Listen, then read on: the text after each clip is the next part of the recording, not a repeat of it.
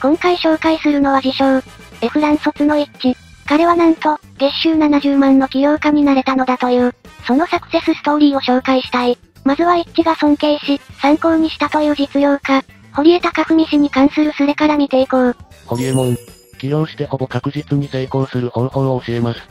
起業してほぼ確実に成功する方法。堀江貴文オフィシャルブログ。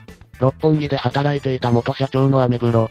私は起業するにあたって、自分の好きな商売ではなく確実にうまくいく商売から始めた方がいいと言っている。具体的には、利益率の高い商売、在庫を持たない商売、定期的に一定額の収入が入ってくる商売、資本ゼロあるいは小資本で始められる商売、をやればほぼ確実にうまくいくと指南してきた。これは正しいと思うのだが、どうもたまにうまくいかない人がいるみたいだ。なぜだろう？と疑問に思って考えてみた。で、これなんじゃないか？と思ったことが一つだけあった。それは睡眠時間以外のほぼ全てを仕事に使っていないということじゃないかと。ええこと言うな。みんなも頑張ろうや。産業で。起業する際には、確実にうまくいく商売から始めろ。それでもうまくいかない人がいる理由は、睡眠以外を全て仕事に使っていないためではないか。成功するためには、個人的な時間を犠牲にする必要があるが、それを苦しいを感じる人は起業するのに向いていない。起業する際には、確実に成功する商売から始めることが大切だが、うまくいかない場合がある。成功するためには、睡眠時間以外ほぼ全ての時間を仕事に費やすことが必要とされるが、そのような生活を望まない人もいることに留意する必要がある。起業家は、仕事に集中する時間を楽しんでいる人が多いと指摘されている。AI に要約させてみた。どうや？インベスター Z だとやる本当これだけ。言うてたやんけ。ほんま適当やな。だから睡眠時間以外やれってことやろ。某有名ゲームクリエイターも言っていたが、とにかくやれ。成功に近づくためには、圧倒的な手数が必要なのだと。どんなにいいアイデアも、行動に出さない限り何も変わらない。息ならそんな忙しくなるほどやることがあるのがイメージできんわ。勉強も同じやな。苦しいと思う人は向いてないかもってちゃんと現実的フォロー入れててくさ。要はローコストでやれるだけのことやれって話やろ。こんなちんたら書かなくても一行で済む。ひろゆきとかも基本的にこういう考えでしょ。言うと信者である弱者がいい気分にならないから言わないだけ。成功したいんなら成功するようにしてくださいって言ってたしな。でその結果が前科もんですか。風呂は入ろうぜ。コンビニ飯って野菜少ないしな。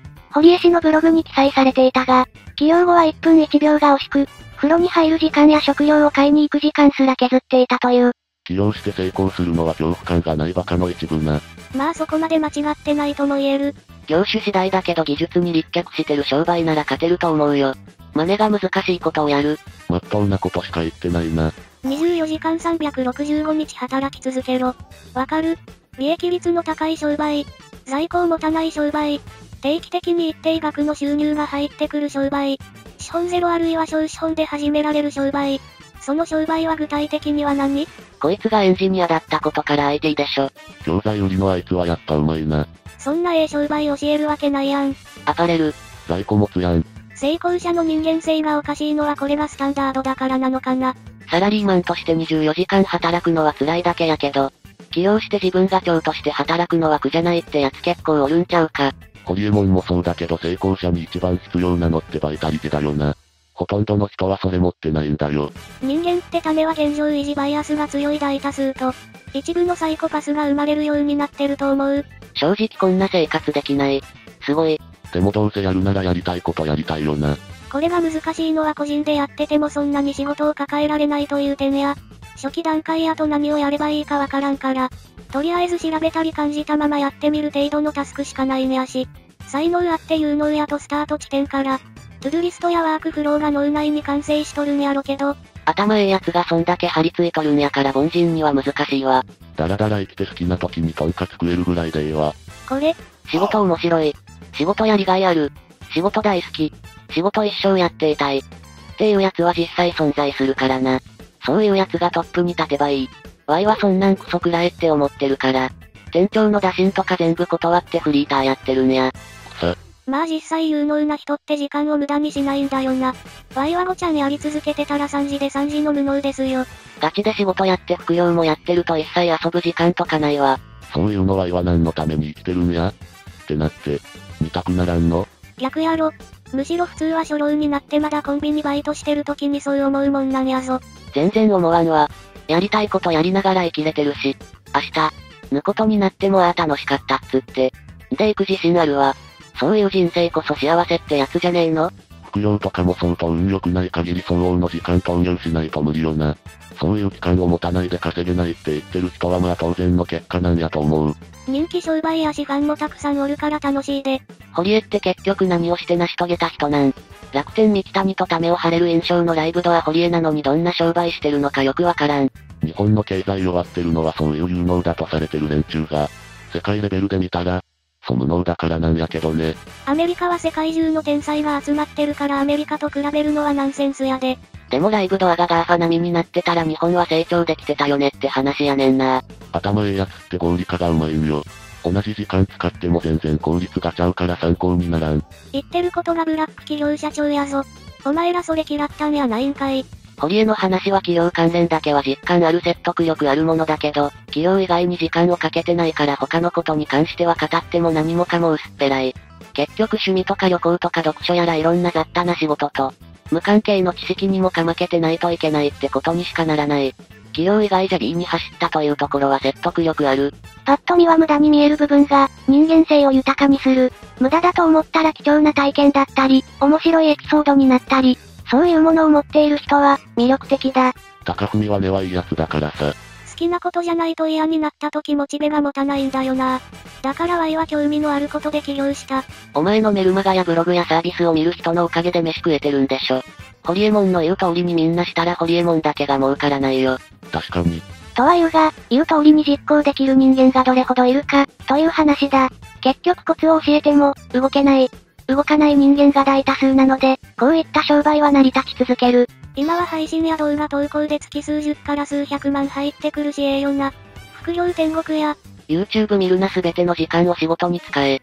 みんながこうしたら YouTuber なんて商売成り立たないんやが、みんなの時間を奪ってる自覚があるなら YouTube なんかやめろよ。そう考えると動画投稿は半分くらい当てはまってんな。堀江はルーティンワーカーをバカにしてるが、その人のおかげで自身も成り立っていることを自覚しろ。ホリエモンは昔、部下の業務説明で、お前の話聞く1分で俺がどれくらい稼げると思ってんだよって平気で罵倒する社長やったんだやで。言ってることは全て正論、でもなってとこで未だに好きになれんわ。昔は底辺罵倒しまくってたのにな。年を取って丸くなったせいか、目線下げるようになったというか、付き合うようになったよな。イーロンやジョブズも、ぬほど働けだし、センス才能に時間を掛け算してやっと成功できる世界なんやな。まあこれはスポーツとかも同じか。イーロン・マスクもこういうタイプよな。昔の景気良かった頃の日本の企業戦士もそう。Y も就職したての頃はベッドで寝た記憶がない。机で倒れるまで譜面見て勉強してた。友達いたんか堀江貴文。気まずい人間関係は切ってもいい。共感したわ。共感したわ。これは堀江氏のインタビューを引用した言葉だ。内容を要約すると、人付き合いには賞味期限がある。古い交流を切ることは痛みを伴うが、どんどん新しい人間と知り合って、刺激的な関係を作るべきだ。同じ交友関係を持ち続けている人間は、価値観がアップデートされていないことが多い。だそうだ。行動力って本当に大事だよな。口だけならいくらでも言えても実際に行動に移せるやつってなかなかいないよな。なんだかんだ言われてるけどホリエモンやっぱバイタリティすげえよな。ワイには到底無理や。時代の寵児と呼ばれた堀江氏。常識にとらわれない考え方で、とても興味深いスレッドだった。次は、起業して月収70万を達成した一致の話だ。彼はどのような方法で成功を手にしたのだろうか？会社辞めて起業して月収70万になった。スペック。26歳。男。学歴。エフラン大学卒。職歴。大学卒業して三流メーカー就職。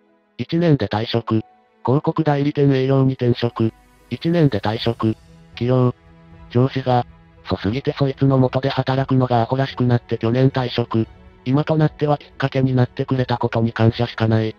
貯金してた300万円を元手にと言っても使ったのは100万円ほど起用。収入は先月ようやく70万円を達成。需要あるかわからんが適当にやってること書いていく。何か質問とかあったら合間に答えていくんで興味ある人はどうか見ていってください。特定につながるものや画像ウプはしませんのであらかじめ。以上です。ありがとうございました。すごいじゃん。終わり。ID? まあ聞いてくれよ。友達少ないんだよ。そんな高尚なもんじゃない。三流メーカーは毎日7時から23時、残業代なしの超絶ブラックだったが、過酷な環境に身を置くことで膨大な仕事量をこなす思考能力が養われたし、自社のネットショップの運営でウェブ関係の知識を一通り勉強することができたと思う。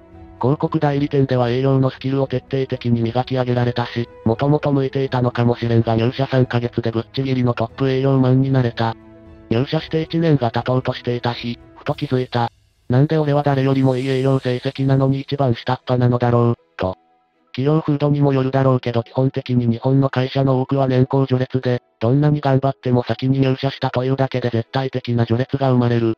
さあ残や休日出勤、顧客からのクレームならまだ耐えられるが、仕事のできないというより本気でやってない奴に上に立たれることがどうしても我慢できずに、思いついた翌日に退職届を提出して翌月に退社した。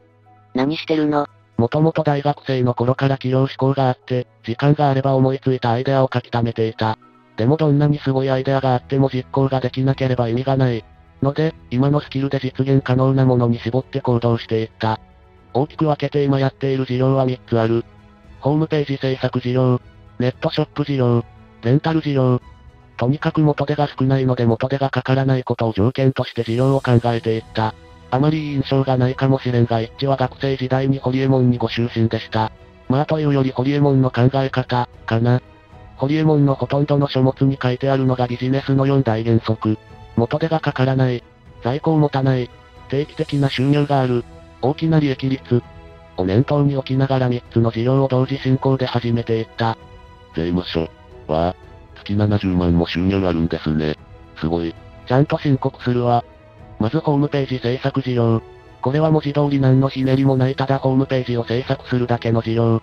ワードプレスであらかじめ大まかなテンプレートを作成しておいて、中小企業や個人経営の飲食店、美容院、病院などを訪問営業して、ホームページ制作依頼をひたすら集めるというもの。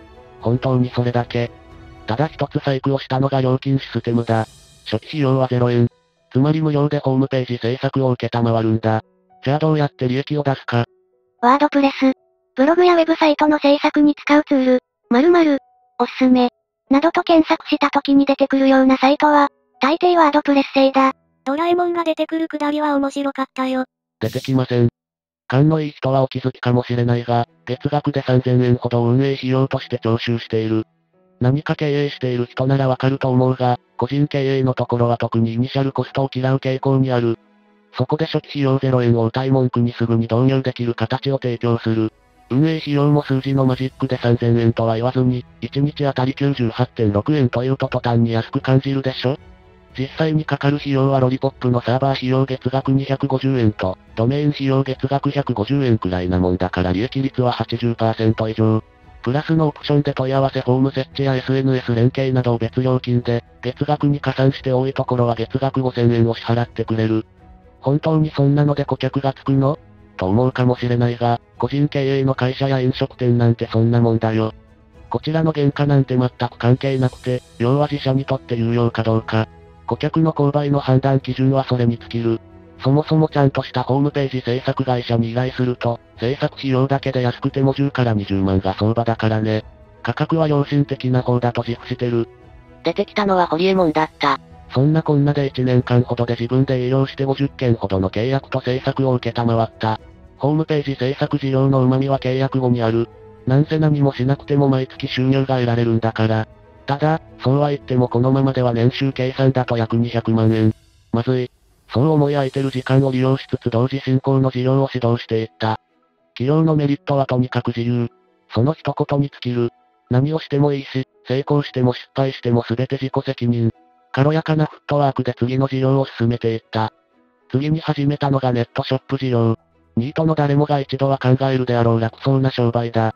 だが現実はそう甘くない。結論から言うとこの事業は現在停止状態にある。会社員時代にネットショップ運営もやっていたので、大まかな全体図は事前にかけていた。あとは、何を売るかを決めるだけ。何を売るか。つまり商材選び。ネットショップ運営の核であり、それが売れるかどうかが事業の将来を左右する。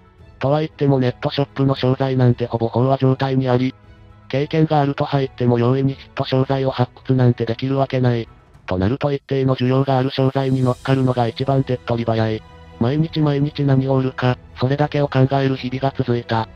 そもそも大手ネットショップとひよっこネットショップでは、価格競争力に大きな格差がある。大手は毎日大量に出荷しているので運送業者の運賃が、格安の契約運賃で出荷できる。しかもこの契約運賃は個人ではとても契約できないような出荷数でようやく契約可能となる。この契約運賃の格差は価格設定にダイレクトに反映される。そこで価格競争力に差が出ないようにメール便で出荷できる商材に絞った。メール便なら1センチで80円、2センチで160円で大手とも十分に渡り合える。スマホカバーやライター、バイクグローブ、様々な商品を少量仕入れては、試し売りしてみたがどれも売れ行きがいまいちだ。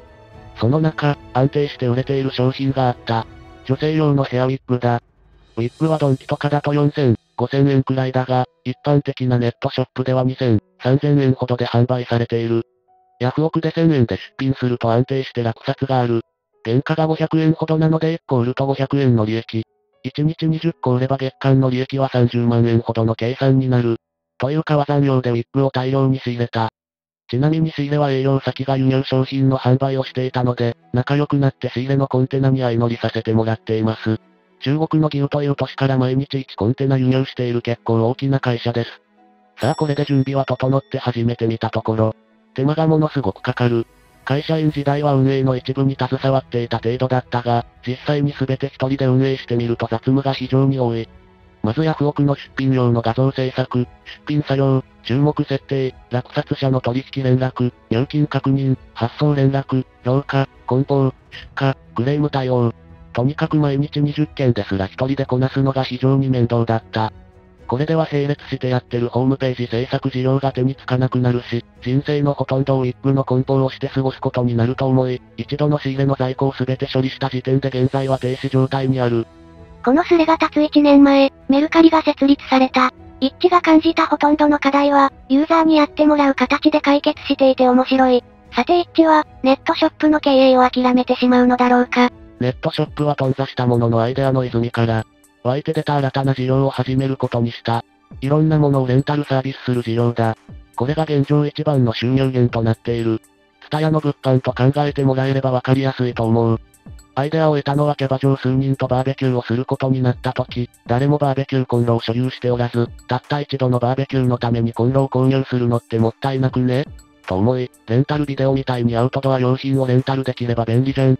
思いついた途端、血管が沸騰するようにアイデアが体中から溢れてくるのを感じた。結局バーベキューをキャンセルしてアイデアを書き殴り、その日のうちにドメインを取得してホームページを開設した。自分自身が物を極力持ちたくない人間なのでそういう人がたくさんいるはず。そう信じて、今までにないくらい真剣に取り組んだ。年収600万でいいから雇え。お前の方が取り分多いやんけ。なるほど。かなり面倒な作業みたいだが読むのも面倒になってきた。もう終わるよ。商材はアウトドア用品を中心にコンロ、テント、アウトドアテーブル、アウトドアチェアなどを揃えた。結果は大当たり。法人営業では社内行事の催しなどの際にご利用くださいと宣伝し、個人の宣伝は新聞の売り込みチラシやポスティング広告を利用して、ポスティングは収納スペースが少ない集合住宅を中心し行った。歓迎会などが多いシーズンには大学前でチラシを配ったり、少年野球の大会に行って不景さんたちにチラシ配ったり色々やった。順調に利用者は増えて8月、9月ともに売り上げは60万円を超えた。運動会に合わせてレジャーシートやクーラーボックス、タープテントなどの品揃えを増やし、海水浴シーズンにはパラソルを取り揃え、盆などの規制の時期には布団まで手を広げた。さすがに家の部屋だけでは管理できなくなり小さい倉庫を来月借りるまで拡大した。まあまあ気持ちよく語ってるんだから生温かく見てやろうぜ。とまあ、社畜やめて自由に生きている人間のお話でした。みんなサクセスストーリー興味なさすぎやろ。ホームページ制作にネットショップ。目の付けどころがなかなかいいな。元手がほとんどかからないからね。極論で言うと営業で利益が上がれば何でもよかった。レンタルも一度も使ったことがないところが使ったら、来年もここで頼めばいいって常連化するし、中小の会社とかに売り込み行けば結構儲かるしな。値段交渉できるってことを書けば学校の文化祭とかでも、使ってくれるかもしれないね。ただ秋冬になるとアウトドア需要がなくなるから心配。ケルヒャーのレンタルとか家に置くには大きいものとかは需要あるかもと検討中。ところが4年後、キャンプを題材にしたアニメが放映され、冬キャンブームが訪れる。一致が今でもレンタル用を続けていれば、きっとさらに大当たりしたはずだ。バーベキューのコンロなんてバーベキュー場でレンタルできるのにわざわざ借りる人いるの？バーベキュー場じゃなくて河原とかでもやるやろ。ケルヒャー持ってるが純正の洗浄液があまり良くなかった。洗車に使って洗った後ケルヒャーの水圧で流したが、乾いたら洗浄液の跡が残った。結局、普通のホースとスポンジで洗い直したわ。あかんのか。まあ使ってみたいって人もおるやろうし、ベランダとか用途はお客さんに決めてもらうわな。ケルヒャーは設置が手間でうちは庭の電源位置と蛇口が離れてて延長コードを使ってた。延長コード？なるほど、いろいろ仕様の感想とかあるんやな。まあケルヒャーの良さの宣伝はケルヒャーやジャパネットの仕事で、レンタルで出す側の立場だとケルヒャー代金しかコストかからないし、使ってみて思いとどまる人がいればそれはそれで社会貢献だしね。質問。営業のコツは？話を聞いてもらうにはどうすればいいの？どうすれば興味を持たせられるの？外見を徹底的に磨き上げる。質よりも量をこなす。事前準備を怠らない。いい人にならない客を金づるだと思い込む。顧客の前ではメモを取るふりをする熱心な人だと思ってもらえる。心がけてるのはこのくらいかな。話を聞いてもらうにはというより話を聞いてもらえる人に当たるまで鉄砲を数打つ。ニーズを的確にリサーチできる能力が欲しい。雇ってください。絶対に他人を心から信用できないから人を雇うという行為ができないでいる。人を信用できない人は多分自分が信用できない行動ばかりしてるんだろうね。アウトドア用品ってどれくらい用意したの？注文入ったら郵送するのか？最初は広告だけ売って、注文があったものを購入してレンタルするって感じかな。購入したものは次からもレンタルで使用できるからね。金額で言うと80万円分くらいはあると思う。今は地域を絞って配達と集荷も自分でやってるけど、自分で返却しに来たり、オプションで郵送返却とかもできるようにしてる。使用して返却されたものは全部一人で清掃とかしてるの？基本的には全て自分でやってる。と言っても綺麗にして返却してくれる人が多いからそんなに手間じゃない。こんな奴にアドバイスされてんじゃねえよ。まともに会社勤めできてねえじゃねえか。人を騙して金儲けしてるような奴に未来はない。転落の人生が目に見える。需要と供給は成り立ってね。欲しい人はこの金額で欲しいと思うし、それでお互いがメリットを感じてるから誰も損してないぞ。一人だと後々考えると辛くねえかちょっとずつ範囲と人を増やした方がいいやろ。だよね。人の人生の責任を持ちたくないというのが本音。人の背負う必要ねえだろ自分の負担を背負わせろよ。例えば俺が事業運営やめたり、維持していくことができなくなった時とか、俺のせいで雇った人間が路頭に迷うのが嫌なんだよね。ネットショップの話だけど個人で仕入れとかどうやってやってたの？全くコネのない状態ではやっぱ難しい？中国の義烏って都市が世界の卸売市場って言われてて、仕入れツアーとかあるみたいやから調べてみるとええで。一通りここまで読んでみた感想だけど、一致って本当に仕事できそう。F 欄を出たというけど、文章もきちんとしているし、読みやすい。そのままでいけばいいと思うよ。人を雇うことについては、慎重になるのが正解。今後雇うことがあっても、社員じゃなく、まずはバイトにしろよ。人件費ほど立ちの悪いコストはないから。ありがとな。非雇用者が雇用者と同じモチベーションを持つことは難しいと思うしね。経営者になってから人を使うって本当に難しいのを痛感したわ。行動力すごいなこういう話は読んでてほんま面白い。堀江氏に習って起用し、次々に成功させた一致。成功の方程式は決まっていて、あとはどれくらい時間を注ぎ込めるかの、勝負なのかもしれない。最後までご視聴いただきありがとうございます。起用する上で、一番大事な要素は何だと思いますか？ぜひコメントに書いてください。この動画を面白いと思っていただけたらチャンネル登録と高評価をお願いします。